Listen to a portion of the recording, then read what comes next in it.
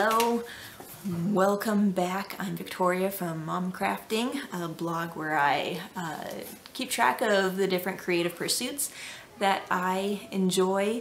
Sewing is one of my favorite hobbies and recently I purchased some fabric from Fabric Mart, one of my favorite stores for purchasing fabric.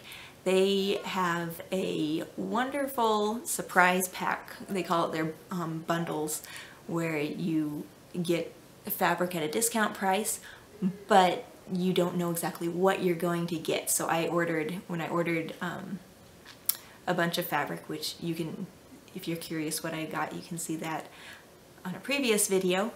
Uh, but what, when I ordered that, I also added the 10 yard bundle and uh, it's it's always fun to see what you get. This is the third or fourth bundle I've gotten and each time I've been um, pleasantly surprised. Usually there's some pieces where I wouldn't have chosen them, but I really like them.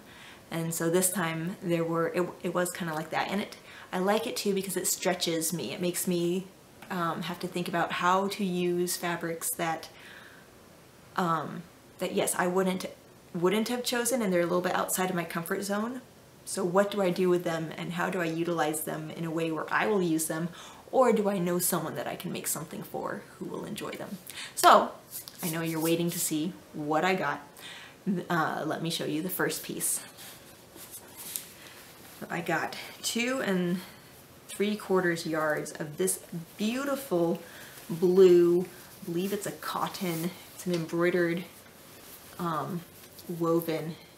I love the blue. It's such a such a deep dark blue, one of my favorite shades but it has these beautiful um, floral embroidery and it's it's an eyelet so in some of them it actually has the uh, the fabric has been cut away inside the embroidery um, as you get closer to the hem.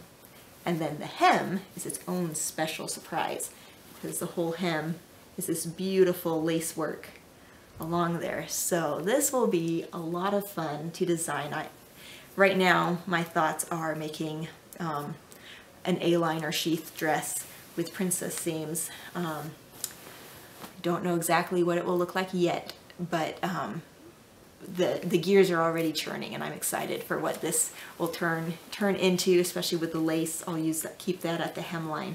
And so that will be a fun one to sew with. And then I got almost two yards of this fun print, which is this is bright, bright green, almost chartreuse along with a teal and black and blue. Um, and it's, it's just a lot of fun. It's a very, very drapey knit. Um, it doesn't have a whole lot of stretch to it. It's probably like 10%, maybe 20%.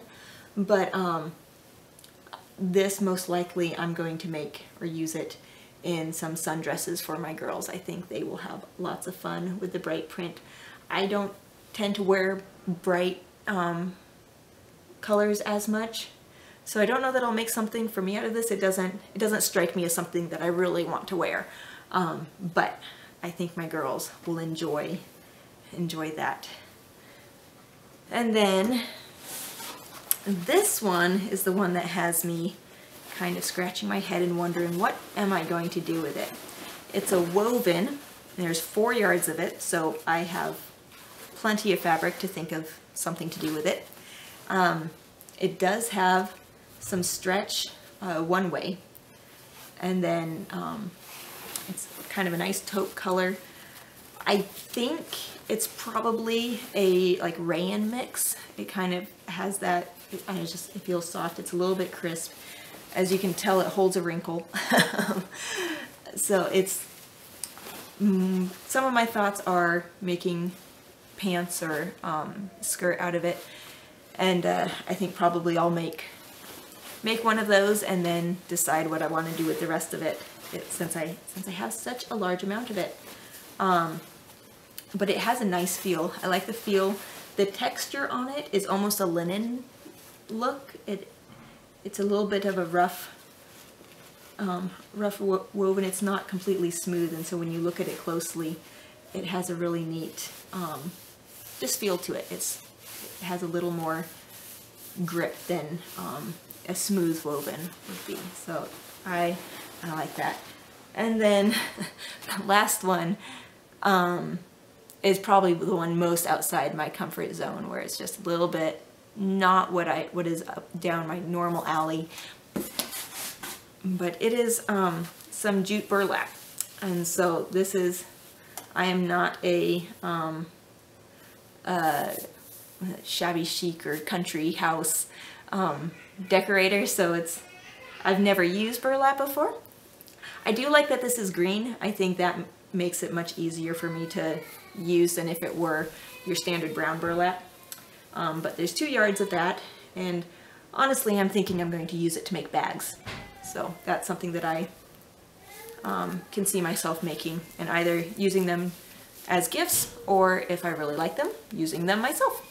So that is what I received in my bundle pack and I'm really excited about seeing what all that fabric turns into.